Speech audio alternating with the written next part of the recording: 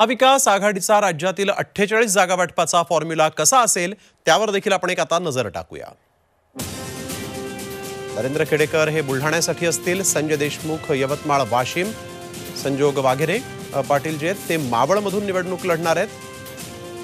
ठाकरे गटाच्या या जागा आपण बघतोय. चंद्रहार पाटील सांगलीमधून नागेश पाटील आष्टीकर हिंगोलीमधून चंद्रकांत खैरे संभाजीनगरमधून. तर ओमराजे निंबाळकर शिवसेनेचे धाराशिवमधून शिर्डीमधून भाऊसाहेब वाघचौरे आणि राजाभाऊ वाझे हे नाशिकमधून निवडणुकीच्या रिंगणात आहेत. अनंत गीते हे रायगडमधून निवडणूक लढवणार आहेत. विनायक राऊत सिंधुदुर्ग रत्नागिरीमधून निवडणुकीच्या रिंगणात आहेत. राजन विचारे यांना ठाण्यातून पुन्हा उमेदवारी देण्यात आली आहे. दहा वर्ष ते तिथले खासदार आहेत ठाण्याचे. संजय दिना पाटील मुंबई ईशान्यमधून निवडणूक लढवतील. अरविंद सावंत मुंबई दक्षिणमधूनच निवडणूक लढवणार आहेत. अमोल कीर्तीकर हे मुंबई वायव्यमधून निवडणूक लढवणार आहेत.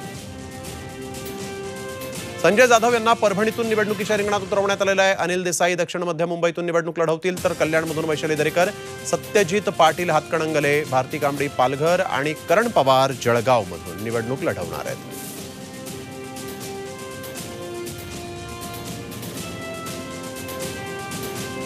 राष्ट्रवादी काँग्रेसचे उमेदवार आपण बघूया. अमर काळे वर्धा भास्कर भगरे दिंडोरी सुप्रिया सुळे बारामती. दहा जागा राष्ट्रवादी शरद पवार गटाला मिळालेल्या आहेत. डॉक्टर अमोल कोल्हे शिरूर निलेश लंके अहमदनगर बजरंग सोनावणे बीड सुरेश उर्फ बाळ्यामामा मात्रे भिवंडीमधून निवडणुकीच्या रिंगणात आहेत. तर साताऱ्यामधून अद्याप राष्ट्रवादी काँग्रेसनं आपला उमेदवार जाहीर केलेला नाहीये. माडामधून देखील उमेदवार जाहीर नाहीये. रावेरमधून देखील राष्ट्रवादीनं उमेदवार जाहीर केलेला नाही. काँग्रेसला सतरा जागा मिळालेल्या आहेत आणि त्यामध्ये श्यामकुमार बर्वे रामटेक विकास ठाकरे नागपूर प्रशांत पडोले भंडारा गोंदिया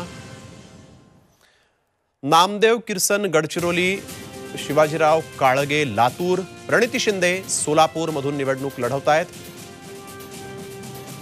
शाहू छत्रपती कोल्हापूर रवींद्र धंगेकर पुणे वसंतराव चव्हाण नांदेड.